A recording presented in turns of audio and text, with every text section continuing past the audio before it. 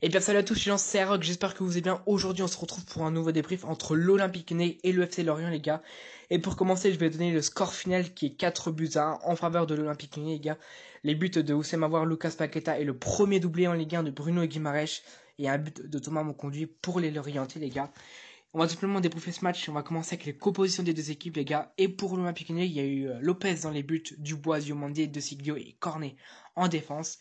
Lucas Paqueta, Bruno Guimaraes et Oussem en milieu de terrain. Karl Toko Ekambi, Tino Kadeveri et Ryan Cherki euh, en attaque, les gars. Et tout simplement, c'était un 4-3-3 pour l'Olympique lyonnais.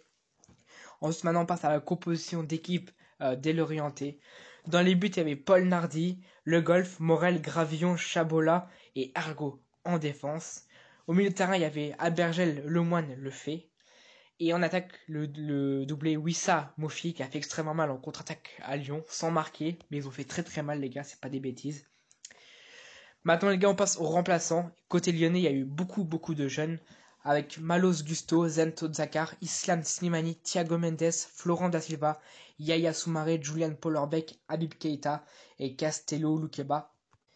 Côté l'orienté c'est Mathieu Drier, Stéphane Diarra, Ouboulang Mendes, Thomas Monconduit, Franklin Wadja, Adrien Serbic, Arnaud Lorienté, Pierre-Yves Hamel et Laurie Mouyokolo.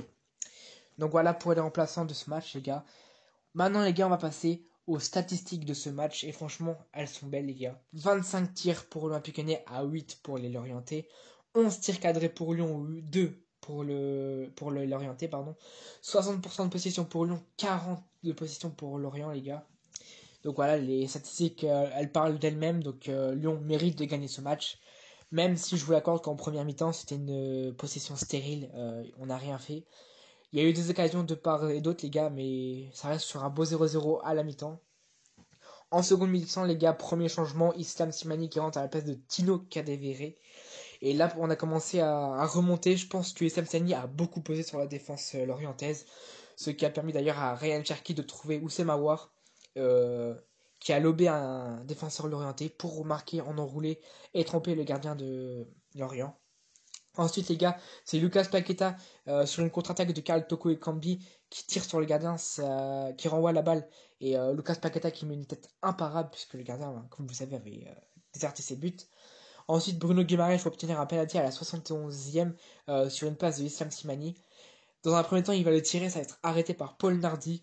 Euh, avec vérification de la VAR, euh, Paul Nardi n'est pas sur sa ligne au moment où Bruno Guimaraes tire le penalty, donc il doit être retiré. Ensuite, il le retire, il le marque. Au passage, il y a eu un joli chambrage de Memphis de paille.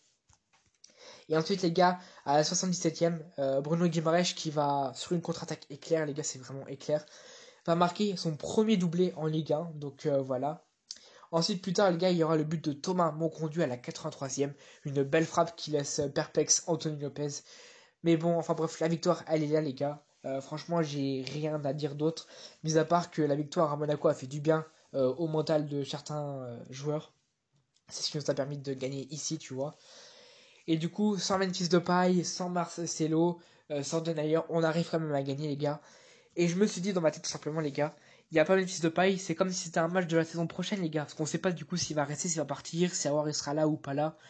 Et là, c'était un avant-goût de ce qu'il y aura la saison prochaine. Donc franchement, si c'est comme ça, c'est le top du top.